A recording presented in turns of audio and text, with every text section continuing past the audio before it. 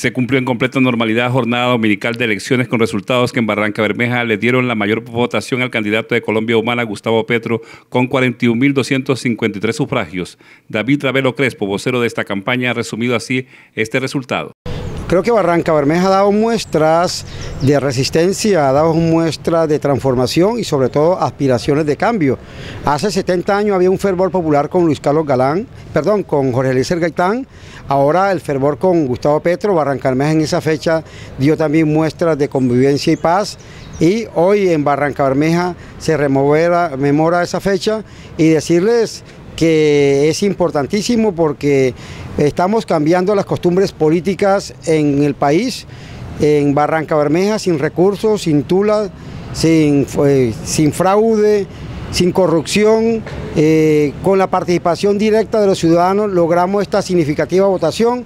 Lo propio ha hecho Gustavo Apanador, uno de los voceros de la campaña de Iván Duque en Barranca Bermeja, donde obtuvo el segundo lugar con votación de 24.818 sufragios. Eh, la verdad que para nosotros es muy satisfactorio, nosotros venimos de menos a más, venimos sumando.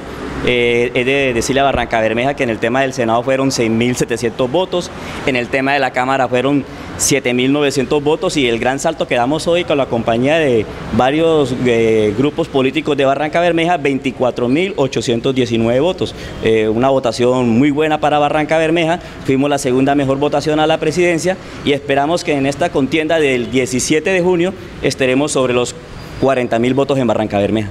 Se espera ahora una intensa campaña en segunda vuelta prevista para el próximo 17 de junio que definirá quién será el próximo presidente de Colombia.